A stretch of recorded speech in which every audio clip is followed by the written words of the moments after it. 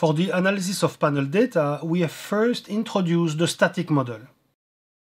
This model assumes that the behavior at time t is independent from the behavior during previous time intervals.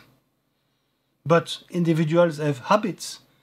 They learn from past experience, and this influences their choice. In this video, we investigate how to capture these aspects in a dynamic model. The assumption here is that the choice in one period may depend on choices made in the past. Typically, we would like to capture learning effects and habits. We will make a simplifying assumption, which is called a Markov assumption. It states that the utility of an alternative at time t is influenced by the choice made at time t minus 1 only. So we go back one time interval in the past instead of considering explicitly the whole history. So it leads to a model called a dynamic Markov model. So Markov means we look only at the previous time interval when we specify the model. If you remember, this is how I illustrated the, the static model, where we had a choice model which for each time interval, which was independent from the choice model of the previous time interval. So now what we would like to do in the context of the dynamic Markov model is to take into account the fact that the utility at time t may be influenced by the choice made during the previous time interval.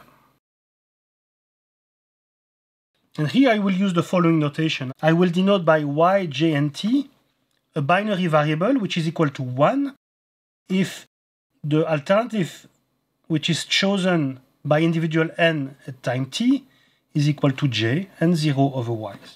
So suppose that individual n selects alternative 2 at time t, well, this would be equivalent to define y n t equal to a vector which has as many entries as alternatives.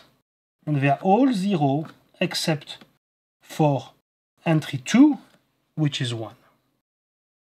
Okay, so we have here y, i, and t, y2 and t, y3 and t, and y4 and t.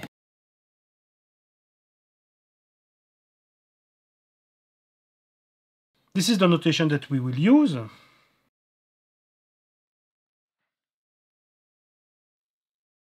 And then the model is very simple.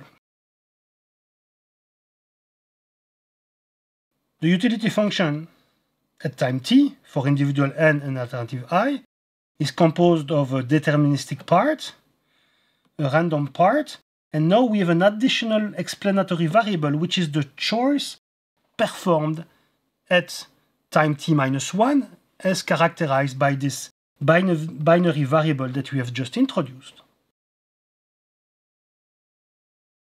So this is the same as the static model, except that we have included one additional variable.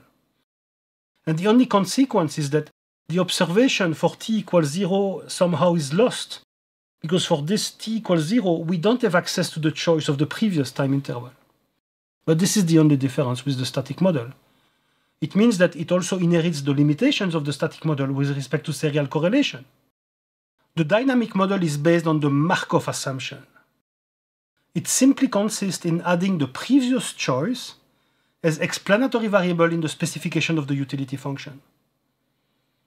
But as I said, we have ignored serial correlation.